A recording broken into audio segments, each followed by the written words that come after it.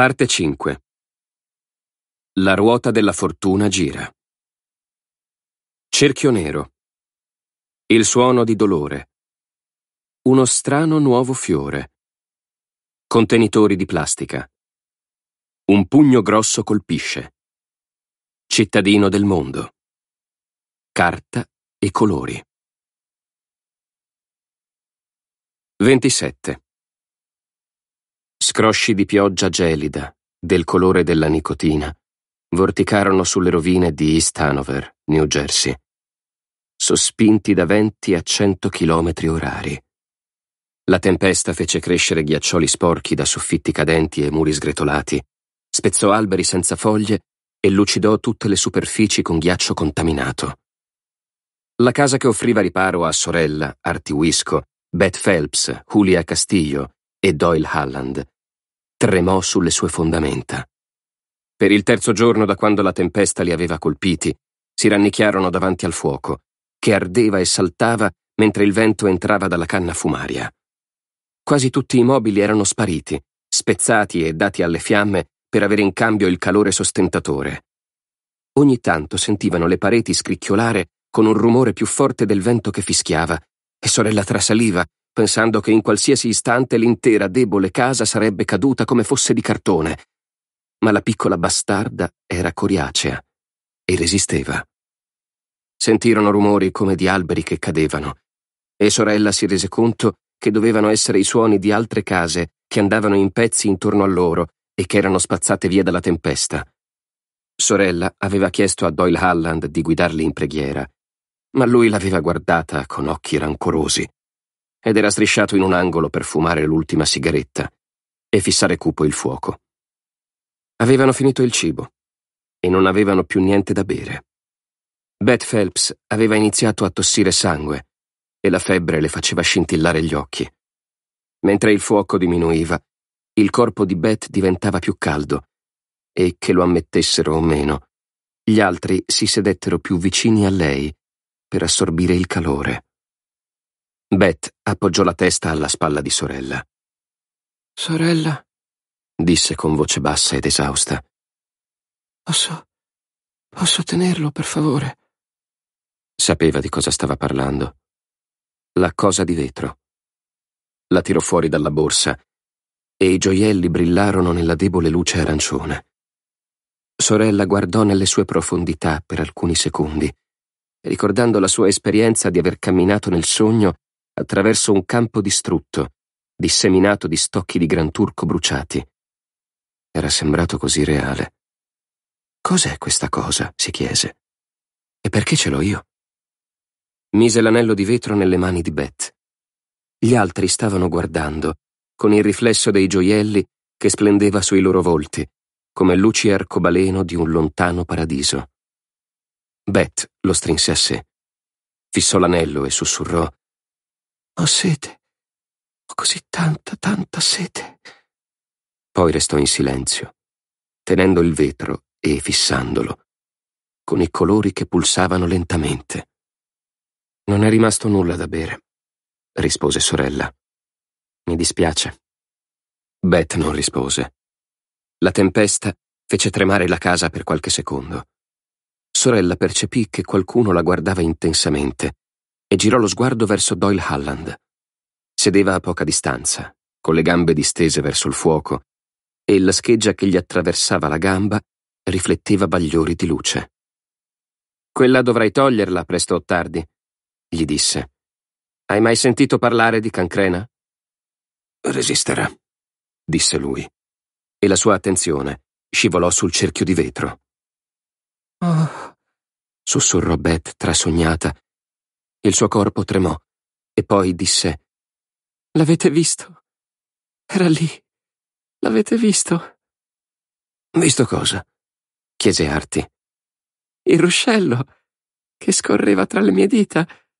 Avevo sete e ho bevuto. Nessuno l'ha visto. La febbre la fa delirare, pensò sorella. O forse Forse anche lei aveva camminato nel sogno. Ci ho immerso le mani, continuò Beth. Ed era così fresco, così fresco. Oh, dentro quel vetro c'è un posto bellissimo. Mio Dio, disse Arti di colpo. Sentite, io. Io non ho detto niente prima perché ho pensato che stavo perdendo la testa, ma. Guardò tutti loro e alla fine si fermò su sorella. Voglio raccontarvi di una cosa che ho visto io quando ho guardato dentro quella cosa. Raccontò loro del picnic con sua moglie. Era strano. Voglio dire, era, era, così reale che sentivo il sapore di quello che avevo mangiato anche dopo essere tornato. Il mio stomaco era pieno e non avevo più fame. Sorella annui, ascoltando con attenzione. Bene, disse. Lasciate che vi racconti dove sono andata io, quando ci ho guardato dentro. Quando ebbe finito, gli altri restarono in silenzio. Julia Castillo stava guardando sorella, con la testa inclinata su un lato. Non riusciva a capire una parola di quello che si stava dicendo, ma vide che tutti guardavano la cosa di vetro e sapeva di cosa stavano discutendo. Anche la mia esperienza è stata molto reale, continuò sorella. Non so cosa significhi. Molto probabilmente non significa niente. Forse è solo un'immagine che è venuta fuori dalla mia mente, non lo so. Il ruscello è reale, disse Beth. So che lo è. Posso toccarlo e posso berne. Quel cibo mi ha riempito lo stomaco, disse loro Arti. Mi ha fatto sentire sazio per un po'. E per quanto riguarda il fatto di parlare con lei, con quella cosa, indicò Julia. Eh, voglio dire, è, è dannatamente strano, no? Questa è una cosa molto speciale. So che lo è. Ti dà quello che vuoi quando ne hai bisogno. Forse è... Beth si tirò su e guardò dritto negli occhi di sorella. Quest'ultima percepiva la febbre emanare dall'altra in ondate. Forse è magico. Un tipo di magia che non è mai esistito prima. Forse, forse l'esplosione l'ha reso magico. Qualcosa con le radiazioni o qual... Doyle Halland rise.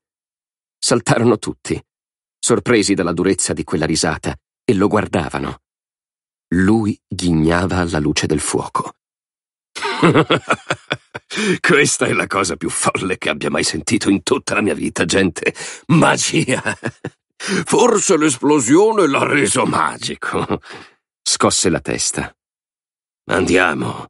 È solo un pezzo di vetro con dei gioielli conficcati dentro. Sì, è bello, d'accordo. Magari è sensibile, come un diapason o qualcosa del genere. Ma secondo me vi ipnotizza.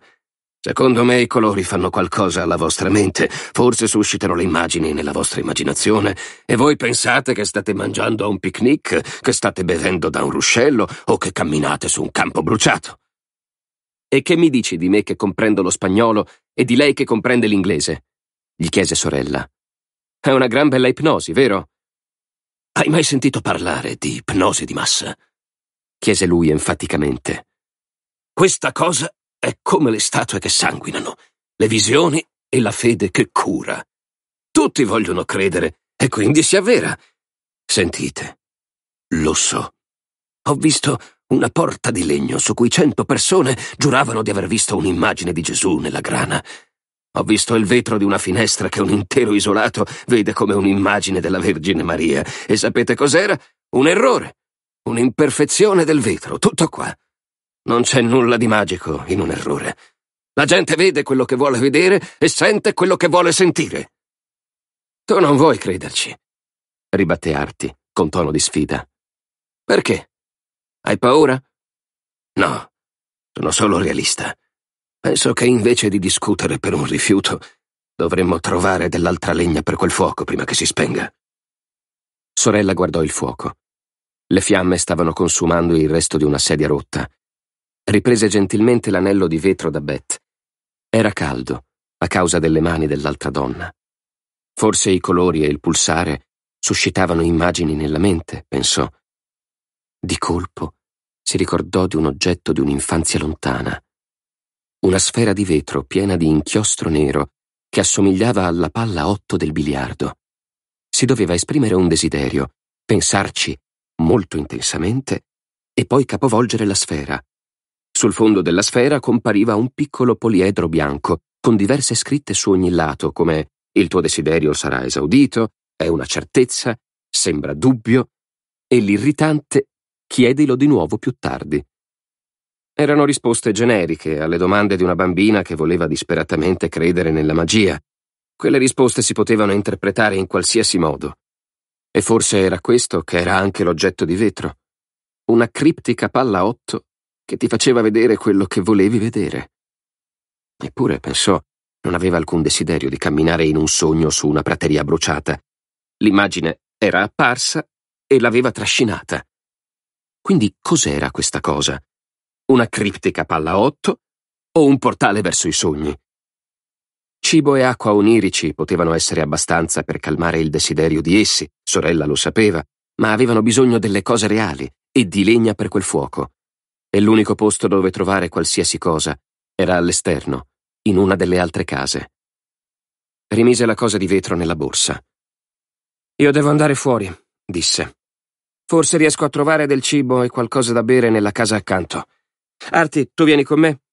Puoi aiutarmi a rompere una sedia o qualsiasi altra cosa per dell'altra legna. Sei d'accordo? Lui annui. Va bene. Non ho paura di un po' di vento e pioggia. Sorella guardò verso Doyle Halland. L'uomo distolse frettolosamente lo sguardo dalla borsa Gucci. E tu? Verrai con noi? Halland si strinse nelle spalle. Perché no? Ah, se voi andate in una direzione, io dovrei andare nell'altra. Posso cercare nella casa sulla destra, se voi andate in quella sulla sinistra. Giusto. Ottima idea. Sorella si alzò. Dobbiamo trovare delle lenzuola in cui avvolgere il cibo e l'altra roba per poterli trasportare. Credo che saremo più al sicuro se strisceremo invece di camminare. Se restiamo vicini al suolo, forse il vento non sarà così forte. Artie e Halland trovarono delle lenzuola e le strinsero sotto le braccia per impedire che si aprissero come dei paracadute nel vento. Sorella mise Beth comoda e indicò a Julia di restare con lei. State attenti, disse Beth. Sembra che non sia troppo bello là fuori. Torneremo, promise sorella, e attraversò la stanza dirigendosi alla porta d'ingresso, che era più o meno l'unica cosa di legno che non era finita nel fuoco. Spinse la porta e immediatamente la stanza si riempì di vento gelido e vorticante e di pioggia ghiacciata. Sorella cadde in ginocchio e strisciò sul portico scivoloso, tenendo stretta la borsa di pelle. La luce all'esterno era del colore della terra di cimitero e le case colpite dal vento intorno a loro erano storte come lapidi trascurate. Seguita da vicino da Arti, sorella iniziò lentamente a strisciare sui gradini per scendere sul prato congelato. Si guardò indietro, stringendo gli occhi contro le pungenti frustate del ghiaccio, e vide Doyle Halland avanzare poco alla volta verso la casa sulla destra, trascinando con attenzione la gamba ferita dietro di sé. Impiegarono quasi dieci gelidi minuti per raggiungere la casa accanto. Il tetto era stato quasi strappato via e il ghiaccio rivestiva ogni cosa. Arti si mise al lavoro, trovando una fessura in cui legare il lenzuolo come un sacco e raccogliendo le schegge di legno disseminate ovunque. Tra i resti della cucina, sorella scivolò sul ghiaccio e cadde duramente sul sedere. Ma trovò dei barattoli di verdure nella dispensa, mele, cipolle e patate congelate. E nel frigorifero trovò dei cibi precotti, duri come la pietra.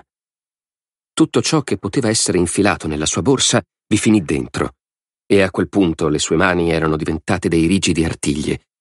Trascinando il suo carico di bottino, trovò Arti con un lenzuolo pieno di pezzi di legno. Sei pronto? urlò contro il vento, e lui annui per confermare che lo era. Il viaggio di ritorno fu più insidioso, perché stavano tenendo così strettamente i loro tesori. Il vento li colpiva anche se strisciavano sulla pancia, e sorella pensò che se non fosse arrivata presto davanti a un fuoco, le mani e la faccia le sarebbero cadute. Coprirono lentamente la distanza tra le due case. Non c'era segno di Doyle Halland, e sorella sapeva che se fosse caduto e si fosse ferito, avrebbe potuto congelare a morte. Se non fosse tornato entro cinque minuti, sarebbe dovuta andare a cercarlo. Strisciarono sui gradini coperti di ghiaccio fino al portico e attraverso la porta entrando nel calore benedetto. Quando anche Arti fu dentro, sorella chiuse la porta e la chiuse a chiave. All'esterno il vento batteva e ululava, come qualcosa di mostruoso a cui erano stati portati via i suoi giocattoli. Uno strato di ghiaccio aveva iniziato a sciogliersi sul volto di sorella e dai lobi delle orecchie di Arti pendevano piccoli ghiaccioli. Ce l'abbiamo fatta! La mascella di Arti era rigida per il freddo. Abbiamo delle... Smise di parlare. Stava fissando oltre sorella e i suoi occhi, con le ciglia ghiacciate, si stavano spalancando con orrore. Sorella si voltò di scatto. Si congelò, più di quanto lo era stata nella tempesta.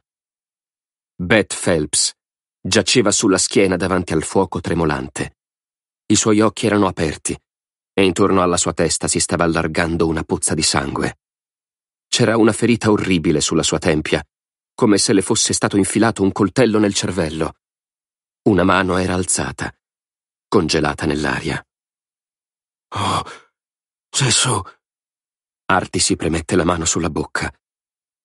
In un angolo della stanza, Julia Castillo giaceva raggomitolata e contorta, in mezzo ai suoi occhi vitrei c'era una ferita simile, e il sangue era schizzato sulla parete dietro di lei, come un ventaglio cinese.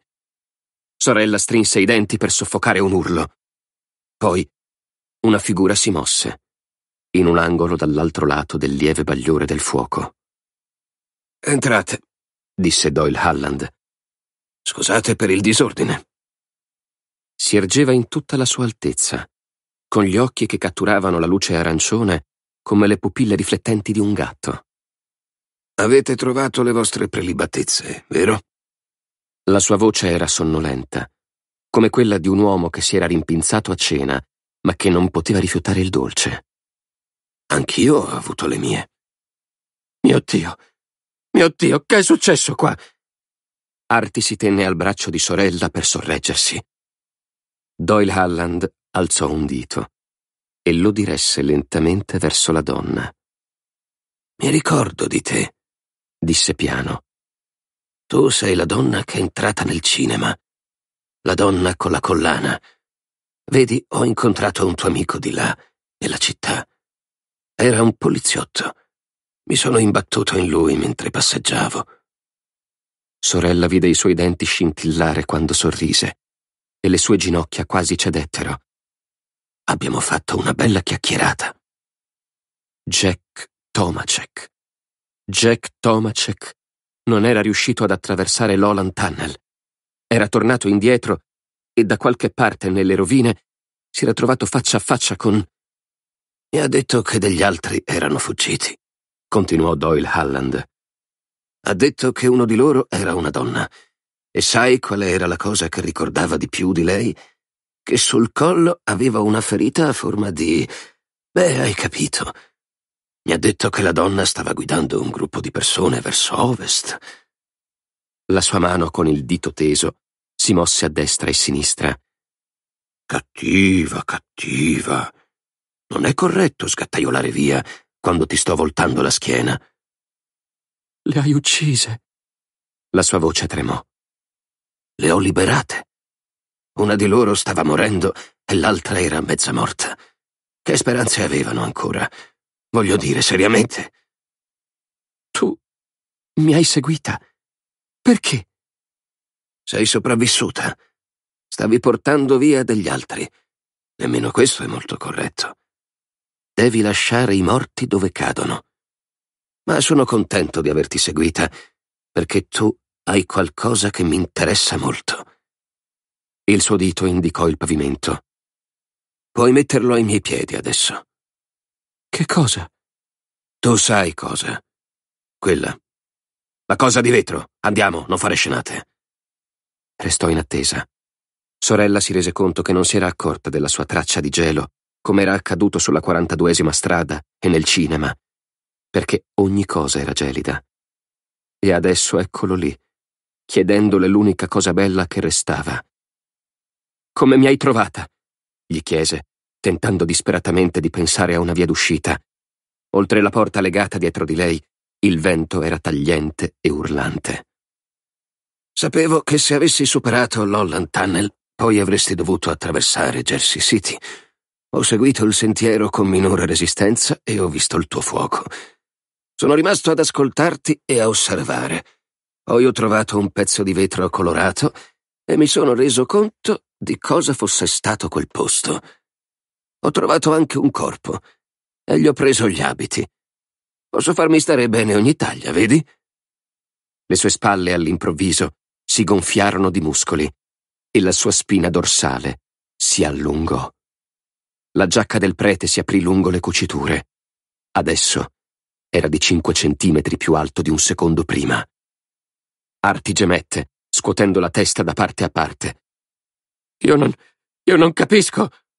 Tu non devi capire, verme. È una cosa tra la signora e me.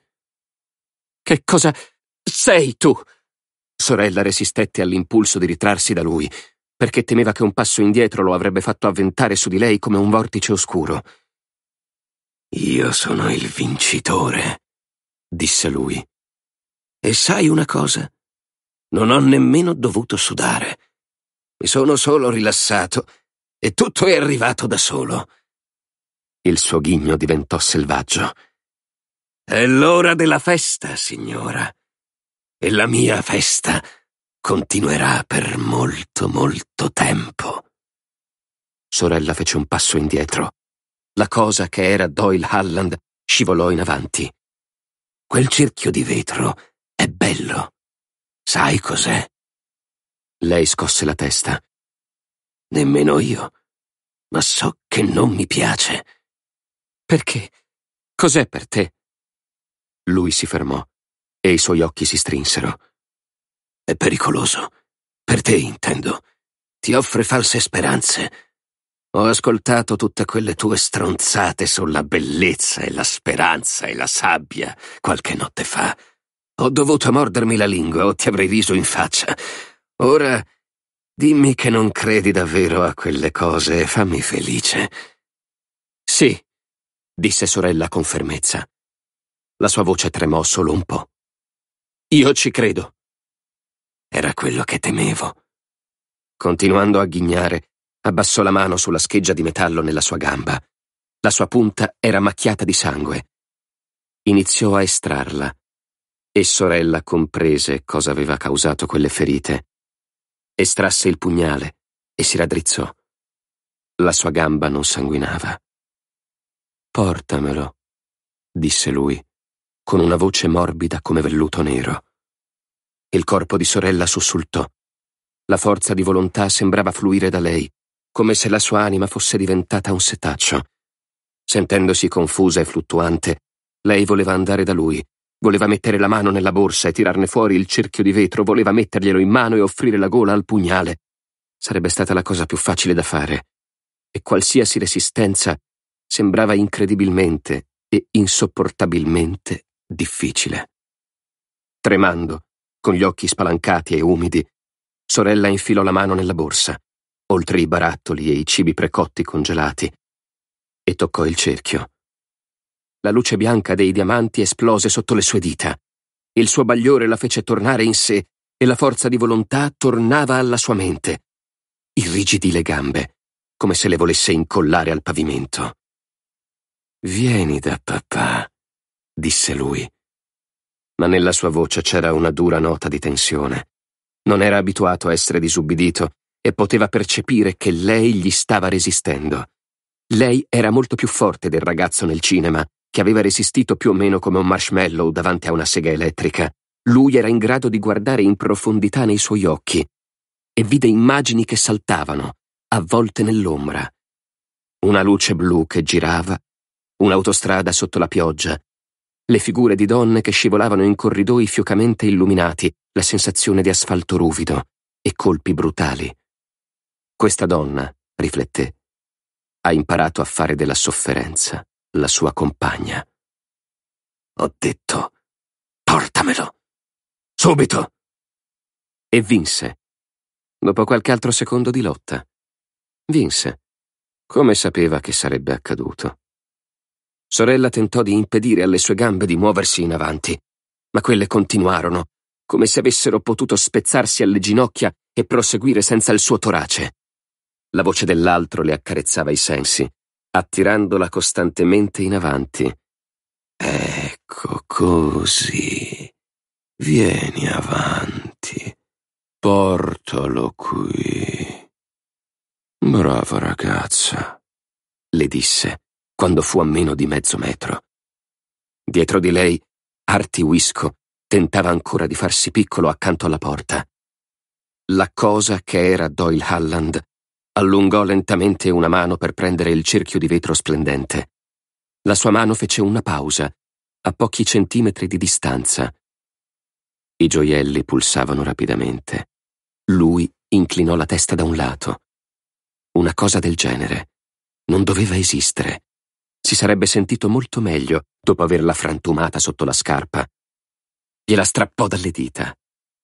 Grazie, sussurrò. L'anello di vetro cambiò. Accadde in un istante.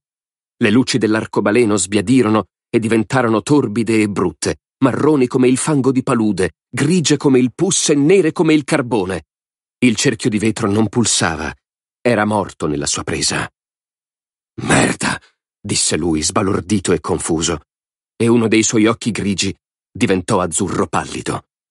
Sorella sbatté le palpebre e sentì brividi di freddo scorrerle lungo la spina dorsale.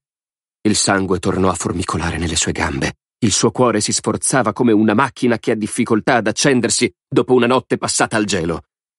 L'attenzione dell'altro era diretta al cerchio nero e lei sapeva che aveva solo uno o due secondi per salvarsi la vita. Sorella puntò le gambe e mosse la borsa di pelle proprio contro il lato del cranio dell'altro. La sua testa scattò in alto e le labbra si deformarono in una smorfia.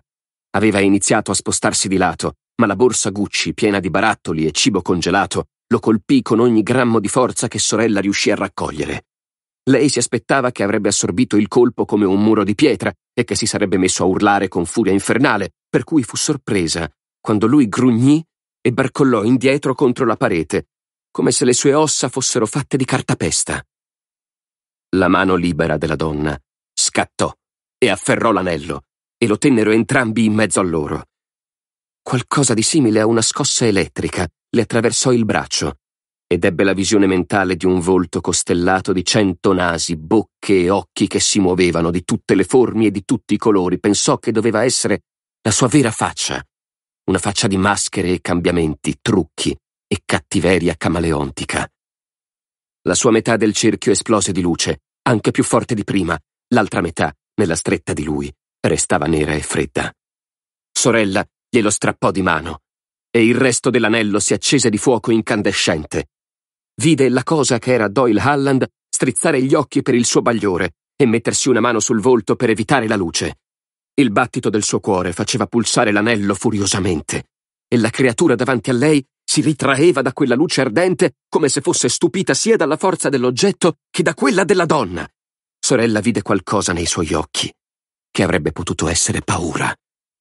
Ma restò lì per un solo istante, perché improvvisamente i suoi occhi furono risucchiati dentro cappucci di carne e l'intero volto iniziò a cambiare. Il naso collassò, la bocca scivolò via, un occhio nero si aprì al centro della fronte e uno verde sbatteva la palpebra sulla guancia. Sulla punta del mento si aprì una bocca come quella di uno squalo e all'interno della cavità si vedevano piccole zanne gialle. Facciamo festa! Stronza! ululò la bocca, e la scheggia di metallo riverberò di luce quando la sollevò sopra la testa per colpire.